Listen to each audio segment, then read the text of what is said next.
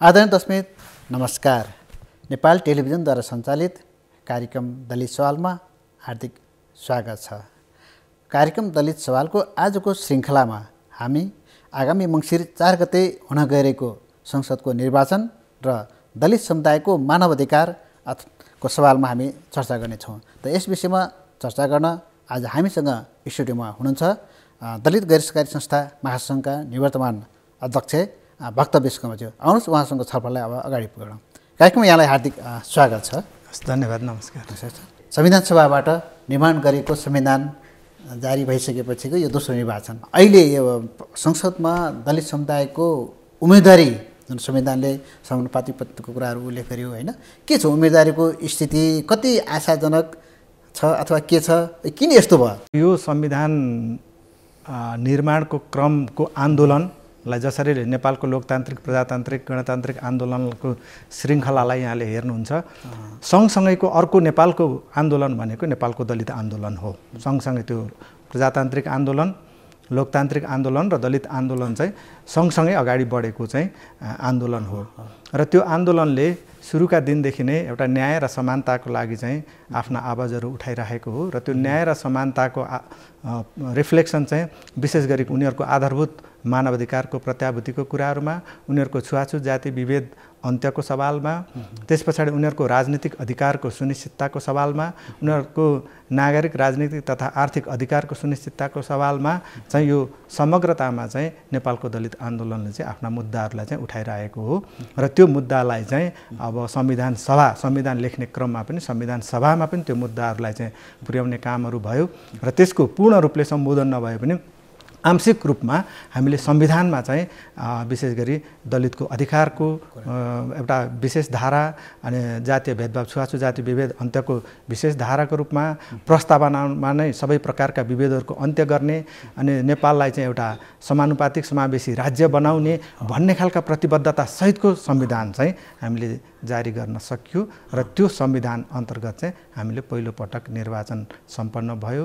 र चौहत्तर सालमा र अहिले चाहिँ हामी दोस्रो निर्वाचनको क्रममा चाहिँ छौँ। तर अब यो श्रृङ्खलालाई यहाँले हेर्नुहुन्छ भनेदेखि दलितहरूको राजनीतिक अधिकार विशेष गरी राजनीतिक अधिकार र त्यो राजनीतिक अधिकारमा पनि विशेष गरी चुन्ने र चुनिने दुइटै अधिकार हो। किनभने चुन्ने अधिकार एउटा अधिकार हो त्यो पनि फन्डामेन्टल अधिकार नै हो। र चुनिने अधिकार राइट टु बी इलेक्टेड पनि अर्को महत्त्वपूर्ण अधिकार हो। किनभने आफ्नो शासन आफै गर्नका लागि जनताका प्रतिनिधिहरू विशेष गरी दलितका प्रतिनिधिहरू पनि संसदमा चाहिँ जानुपर्ने र राजनीतिक भनौँ एउटा पहुँचमा चाहिँ उनीहरू पनि रहनुपर्ने अवस्थाहरू हो। तर हामीले चाहिँ नेपाललाई एउटा प्रगतितर्फ चाहिँ उन्मुख गराउनका लागि चाहिँ एउटा समावेशी लोकतान्त्रिक गणतान्त्रिक सङ्घीय राज्यको रूपमा चाहिँ अगाडि बढाइरहेको बढाउने क्रममा चाहिँ अब अहिले विशेष गरी तपाईँले दलितका कुराहरू अथवा मार्जिलाइज समुदायका कुराहरूलाई हेर्दै जानुहुन्छ भने चाहिँ राज्य राजनीतिक दल र भनौँ न अब यो देशका शासकहरू चाहिँ क्रमिक रूपमा रिग्रेसिभ प्रोग्रेसिभ हुनुको सट्टा चाहिँ रिग्रेसिभ भइरहेको यथास्थितिवादी भएको यथास्थिति नै पछाडि पछाडि फर्क्यो होइन। परिवर्तन जब हामीले चाहिँ संविधान निर्माण गऱ्यौँ आन्दोलनहरू गऱ्यौँ जनआन्दोलन गऱ्यौँ सबै गरेर जुन संविधानको एउटा जग चाहिँ हामीले बसायौँ र त्यो एउटा प्रगतिको पथमा थियो तर नेताहरू चाहिँ त्यो त्यसलाई अगाडि बढाउनुभन्दा उनीहरू रिलक्टेन्स एउटा भएर चाहिँ यथास्थिति रूपमा चाहिँ उनीहरू रहने अथवा अझै चाह्यो भने त पछाडि नै फर्किने अवस्थाहरूमा चाहिँ देखिएको छ। अहिलेको निर्वाचनमा उम्मेदवारी दर्ताको हिसाबले हेर्ने भने अब प्रत्यक्षमा चाहिँ अब दुईवटा दलले मात्रै प्रत्यक्षमा टिकट दिएको तथ्याङ्क छ होइन? नेकपा एमाले र नेक माओवादीले नेपाली काङ्ग्रेस जस्तो लोकतन्त्र दिएन। अनि यता समानुपातिकमा पनि हिसाब किताब गर्दाखेरि जस्तो संविधानले संविधानको धारा चालिस एक अनुसार समानुपातित्व हुने कुरा छ। भनेपछि दलितको तेह्र प्रतिशत जनसङ्ख्या अनुपातमा अहिले प्रतिसभामा समानुपातित्व हुन सक्ने स्थिति देखिँदैन। हाम्रो अहिले प्यारालल सिस्टम हो। हामीले अप्नाएको इलेक्ट्रल सिस्टम भनेको प्यारालल सिस्टम हो। प्यारालल सिस्टम भनेको यसमा चाहिँ फर्स्ट पास द पोस्ट र पिआर भनेको समानुपातिक र बहुमतीय निर्वाचन प्रणाली हामीले अप्नाएको हो। र फर्स्ट पास द पोस्टमा चाहिँ विशेष गरी संविधानले ओपन राख्यो। होइन? संविधानले ओपन राख्यो जहाँ चाहिँ के ठानेको थियो भनेदेखि त्यति बेला नेताहरूले अथवा राजनैतिक दलहरूले चाहिँ एउटा विवेक पुर्याउँछन् विवेक प्रयोग गरेर पनि त्यो पछाडि परेको वर्ग समुदाय क्षेत्रका नागरिकहरूलाई चाहिँ पोलिटिकल मिनिस्ट्रीमा चाहिँ ल्याउँछन् अगाडि भन्ने एउटा आशा गरेको थियो। र अर्कोमा चाहिँ सिधै प्रतिशत नै तोकिएको थियो होइन? प्रतिशत नै तोकिएकोमा चाहिँ उनीहरू किन संविधानले नै डन्डा लगाइसकेको ठाउँमा चाहिँ त पछाडि हट्न सक्ने अवस्थाहरू रहेन। त्यो दिने तर त्यहाँ पनि के गर्ने भने विभिन्न हिसाबले त्यहाँ भोइसहरूको चाहिँ रिप्रेजेन्ट हुन नसकोस् नसक्ने किसिमले चाहिँ कुनै कुनै कुनै न कुनै हिसाबले चाहिँ आन्तरिक गृह कार्य गरेर त्यहाँ प्र पठाउने कुराहरूमा चाहिँ दलहरूले हिजोदेखि नै नेताहरूले अथवा पार्टीहरूले हिजोदेखि नै त्यो अप्नाइरहेको देखिन्छ।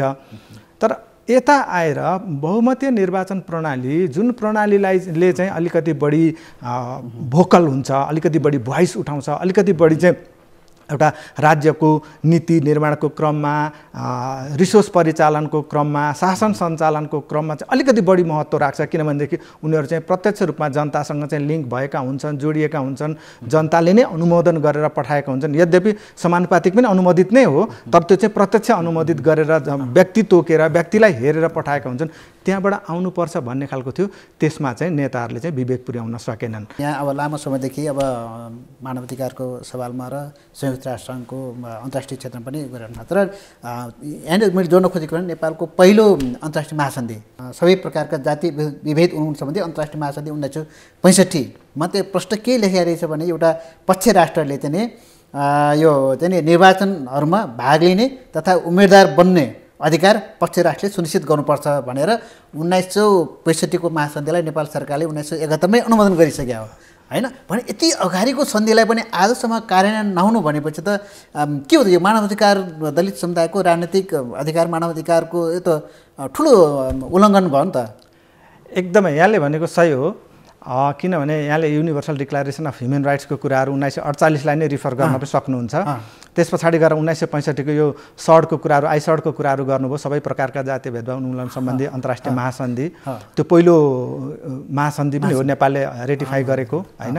संयुक्त राष्ट्रसङ्घमा त्यो किसिमले आएको महासन्धिको रूपले।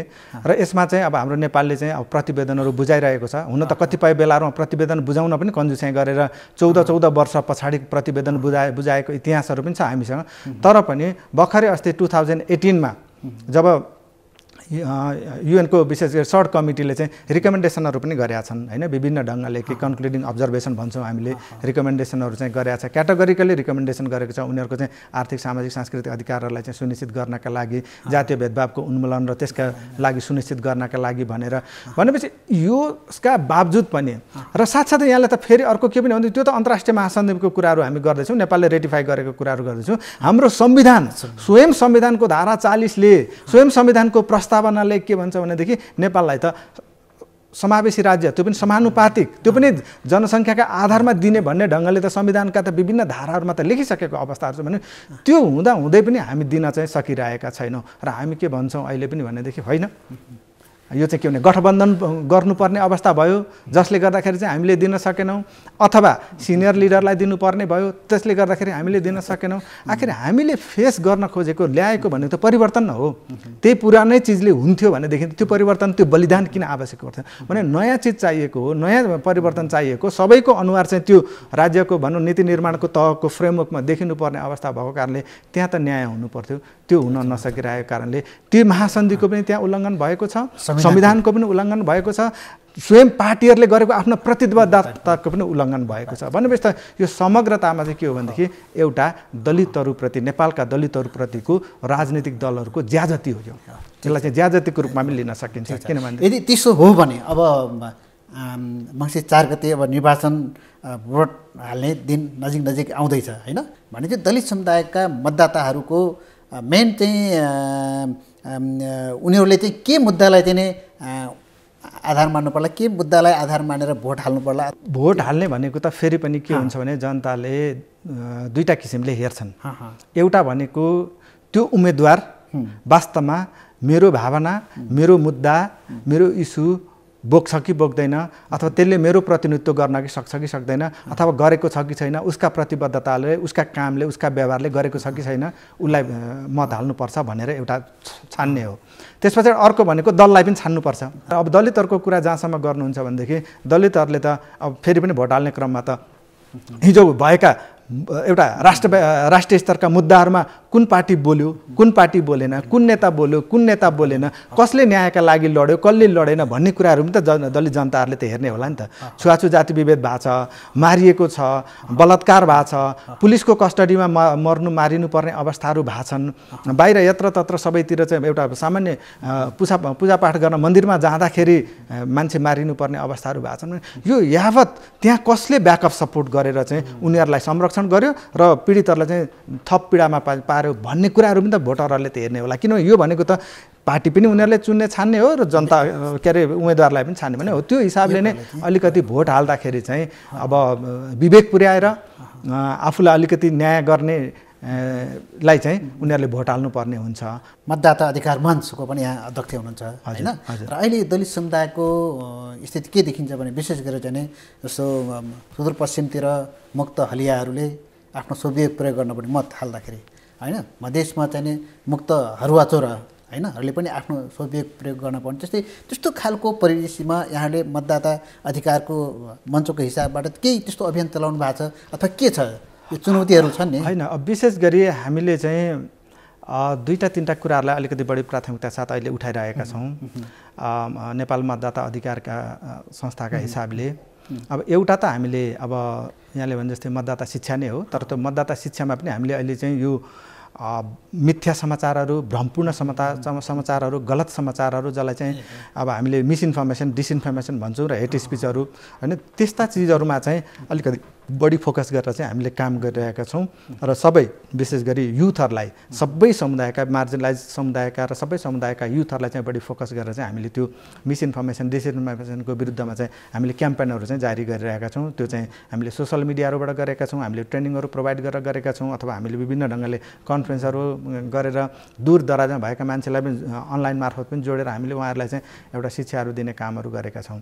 हामीले विगतका दिनहरूलाई हेर्ने हो भने चाहिँ के देखिन्छ भने जो यहाँले भने जस्तै सीमान्तकृत वर्ग क्षेत्र र समुदायका नागरिकहरूलाई चाहिँ त्यो अनलाइनबाट त्यो ट्रेनिङबाट त्यो कन्फरेन्सबाट दिएको उसले चाहिँ शिक्षाले मात्रै चाहिँ पर्याप्त हुँदैन। उहाँहरूको त के भने घर दैलोमा पुग्नुपर्ने हुन्छ। घर दैलोमा पुगेर उहाँहरूलाई चाहिँ राखेर प्रत्यक्ष राखेर उहाँहरूलाई सिकाउनुपर्छ। भोट कसरी हाल्ने हो अथवा मान्छेहरू छान्दाखेरि कसरी छान्ने हो भन्ने ढङ्गको त्यो सबै सिकाउनु पर्ने अवस्थाहरू हुन्छ। त्यो सिकाउनु पर्ने अवस्थाहरूमा चाहिँ सायद अब विगतको चुनावहरूमा अथवा स्थानीय तहमा पनि त्यति धेरै हुन सकेन। यद्यपि निर्वाचन आयोगले चाहिँ डिजिटल वर्डलाई प्रयोग गरेर सोसियल मिडियालाई प्रयोग गरेर विभिन्न ढङ्गले आफ्नो अब लोकल लेभलको उसलाई प्रयोग गरेर पनि संरचनालाई प्रयोग गरेर पनि मतदाता शिक्षा सञ्चालन गर्ने प्रयास गरिरहेको अवस्थाहरू छ। तर के होइन भनेदेखि मतदाता शिक्षा जस्तो विषय चाहिँ निर्वाचन आयोगले मात्रै गरेर चाहिँ पर्याप्त हुँदैन। त्यसका लागि चाहिँ यो देशका सामाजिक सङ्घ संस्थाहरूलाई चाहिँ विशेष गरी परिचालन गरेर ती सामाजिक संस्थाहरूले चाहिँ गाउँ गाउँमा दूर दराजहरूमा गाउँ बस्ती बस्तीहरूमा यहाँले भने जस्तै ती तहका नागरिकहरूमा चाहिँ पुगेर के गर्नुपर्ने हुन्छ भने सिकाउनु पर्ने हुन्छ। त्यो चाहिँ पर्याप्त मात्रामा चाहिँ पुगेको चाहिँ छैन। र जहाँसम्म यहाँले चाहिँ भोट हाल्नैका लागि चाहिँ उनीहरूले सोभिवेक प्रयोग गर्न सक्दैनन् नि त भन्ने चाहिँ त्यो अझै पनि के छ भन्नुहुन्छ भने यहाँले रिफरै गर्नुभयो हल्लियाको कुरा भन्नुभयो अथवा हरुवा चरुवाको कुराहरू भन्नुभयो सायद त्यो कमाया कमलरी कमाया कमलरीको कुराहरू होला। अथवा अरू नै सीमान्तकृत समुदायको कुराहरू होला त्यो के भइरहेछ भनेदेखि उनीहरूले संविधानले हामीले उनीहरूको अधिकार त हामीले सुनिश्चित गऱ्यौँ। कानुनले त हामीले उनीहरूको अधिकारहरू सुनिश्चित गऱ्यौँ। तर पनि के छ भनेदेखि तिनै हिजोका टाठाबाठाहरूले हिजोका सम्भ्रान्त भनेकाहरूले हिजोका जमिनदारहरूले अथवा हिजोका सामन्तहरूले नै अहिले पनि प्रत्यक्ष र परोक्ष रूपमा चाहिँ उनीहरूमाथि चाहिँ शासन गरिरहेको अवस्था भएको कारणले पनि किनभने भोलि डे टु डे उनीहरूको दैनिकीलाई चाहिँ असर पर्छ भनेर पनि उनीहरूले त्यो एउटा गाउँको व्यक्ति जो एउटा आफूलाई त्यहाँको ठालु ठान्छ त्यहाँको एउटा सामन्तको रूपमा रहेको छ त्यस्ता मान्छेहरूका कुराहरूलाई चाहिँ क्रस गरेर भोट हाल्न सक्ने अवस्थामा चाहिँ अहिले पनि सबै नागरिकहरू चाहिँ पुगेका छन्। यद्यपि यहाँले तुलनात्मक रूपले दस वर्ष अगाडिको स्थिति र आजकोलाई तुलना गर्नुहुन्छ भने त्यो क्रस गर्न सक्ने अवस्थामा आछन्। तर पनि जुन मात्रामा आउनुपर्ने थियो त्यो हिसाबले चाहिँ उनीहरू अहिले पनि आउन सकेको अवस्थाहरू चाहिँ छैन। किनभने फेरि पनि उनीहरू त्यहीँ गएर सरसापट्टि चलाउनु पर्ने हुन्छ त्यहीँ गएर ज्याला मजदुरी गर्नुपर्ने हुन्छ त्यहीँ गएर चाहिँ अन्य सुख दुःख साह्रो गाह्रोमा चाहिँ अब हातेमालो गर्नुपर्ने अवस्था। किनभने आर्थिक रूपमा पनि उनीहरू चाहिँ आफू सम्पन्न भइसकेका छैनन् कि आफ्नो सम्पूर्ण सुख दुःख चाहिँ आफैले सञ्चालन गर्न सकौँ। त्यो अवस्था नहुँदासम्म चाहिँ यो खालको एउटा चक्रमा चक्रभ्यूमा चाहिँ फसिराख्ने अवस्थाहरू चाहिँ देखिन्छ। देखिन्छ। यो दलित समुदायको मानव अधिकारको कुराहरू गर्ने भने यो दलित आन्दोलनलाई अलिकति चाहिँ यो साझा नेतृत्वको खडेरी भयो भन्ने कुराहरू आछ यहाँ पनि अब लामो समयदेखि अब नेपाल राष्ट्र दलित सङ्घसँग दलित संस्था महासङ्घको पनि अब कार्यवाहक अध्यक्ष भएर पनि धेरै भएको छ। के कारणले हुँदा? दलित आन्दोलन अलिकति जुन जति अन्याय उत्पीडन भए पनि जुन सङ्गठित अलि दबाब दिनुपर्ने त्यहाँ एउटा ग्याप हो। अर्को चाहिँ नि संविधानमा लेखेको कुरालाई पनि कार्यान्वयन गराउनुतिर पनि हाम्रो आन्दोलन पुगेन भन्ने धेरै अधिकार कर्मीहरूको गुनासो छ। अब यसलाई कसरी सम्बोधन गर्ने होला अब आउने दिनमा? यो एउटा वास्तवमा यहाँले एकदम सही कुरा उठाउनु भएको छ किनभनेदेखि यो अलिक चुनौतीपूर्ण देखिएको छ। हामीलाई के लाग्थ्यो भनेदेखि हुन त आशङ्काहरू थिए त्यहाँ पनि तर के लाग्थ्यो भने जब हामीले संविधान बनाउँछौँ संविधानमा अधिकारहरू ग्यारेन्टी गर्छौँ कानुनमा अधिकारहरूको ग्यारेन्टी गर्छौँ। त्यस पछाडि हाम्रो राज्य संयन्त्र चाहिँ फङ्सनल हुन्छ अथवा त्यसले चाहिँ काम गर्छ। काम गरिसके पछाडि चाहिँ ती संविधानमा भएका अक्षरहरूलाई चाहिँ व्यवहारमा परिणत गर्नतिर लाग्छन् कानुनमा भएका अक्षरहरूलाई व्यवहारमा परिणत गर्नतिर लाग्छ राज्य संयन्त्र भन्ने हामीले ठानेका थियौँ। र त्यो देखिएन होइन? राज्य संयन्त्र जहिले पनि के हुन्छ भनेदेखि आफैमा चाहिँ सबै कुराहरू चाहिँ केन्द्रित गरेर राख्न चाहिँ चाहने नेचर देखियो। र त्यस पछाडि जहाँसम्म दलित आन्दोलन र दलित आन्दोलनका नेतृत्वको कुराहरू हो हामी अलिकति राजनीतिक सबै कुरालाई एउटा डिसिजन गर्ने राजनीतिले हो भन्छौँ हामी त्यो सही पनि हो। तर कहिलेकाहीँ के हुँदो रहेछ भने दलगत राजनीतिले यस्ता खालका मुद्दाहरूलाई चाहिँ कहिलेकाहीँ स्याडो पार्दो रहेछ किनभने त्यो मुद्दालाई हेर्ने आफ्नो दलको आफ्नो दृष्टिकोण हुने र त्यो दलको दृष्टिकोण नमिल्दासम्म चाहिँ त्यहाँ अगाडि बढ्न चाहिँ नचाहने नसक्ने। भएर एउटै मुद्दालाई जस्तै तपाईँलाई उदाहरणको रूपमा रुकुमकै मुद्दालाई हेर्ने दृष्टिकोणमा पनि फरक आयो क्या? जहाँ कि त्यहाँ फरक आउनुपर्ने जरुरी थिएनन्। किनभनेदेखि कहिलेकाहीँ त्यो खालको सोच र चिन्तनले चाहिँ अप्ठ्यारो पारेको हो। तर हामीले के बुझ्नुपर्ने अवस्था छ भनेदेखि चाहे त्यो राजनीतिक दलका दलितका नेताहरू हुन् चाहे ती भातृ संस्थाहरू हुन् चाहे ती दलित नागरिक समाजका संस्थाहरू हुन् चाहे त्यो इन्टेलेक्चुअलहरू अरू नै किन नहुन्? यो सबैले चाहिँ के भनेदेखि हामीले राजनीतिक दलगत राजनीति एउटा लिमिटेसनमा गर्ने हो एउटा तहसम्म गर्ने हो। तर जबसम्म आम दलितहरूको मुक्तिको सवालको कुराहरू आउँछ उत्थानको सवालको कुराहरू आउँछ विकासको सवाल आउँछ भने चाहिँ हामी सबैजना एक ठाउँमा आउनुपर्छ भन्ने चेतना विकास गरेर त्यही अनुसारको रणनीति बनाएर अनि त्यो बिचबाट चाहिँ एउटा साझा नेतृत्वहरू चाहिँ कलेक्टिभ एउटा नेतृत्व स्वीकार्नलाई अहिले गाह्रो छ भने पनि केही कलेक्टिभ लिडरसिपको तयारी गरेर पनि हामी अगाडि बढेर यो कार्यान्वयनमा चाहिँ जानुपर्ने हुन्छ। र त्यो कार्यान्वयन भइसके पछाडि अनि त्यसको धरातलमा त्यसको जगमा टेकेर मात्रै फेरि अर्को फर्को मार्न सकिन्छ जुन चाहिँ हाम्रो पर्याप्त छैन। भने हो त्यहाँनिर चाहिँ अलिकति हामीले काम गर्नुपर्ने चाहिँ देखिन्छ। त्यो भने चाहिँ अब अबको दलित आन्दोलनको मुख्य मुद्दा के हुनु पर्ला त? किन साझा नेतृत्व गराउनलाई मुद्दाले नै एकीकृत बनाउने हो होइन? एकीकृत दलित आन्दोलनलाई कुन मुद्दालाई प्राथमिकता दिनु पर्ला यहाँ आजको मितिसम्म आउँदा होइन फेरि पनि पहिलो र प्राथमिक भनेको छुवाछु जाति विभेदको समूल अन्त्य नै हो पहिलो। होइन?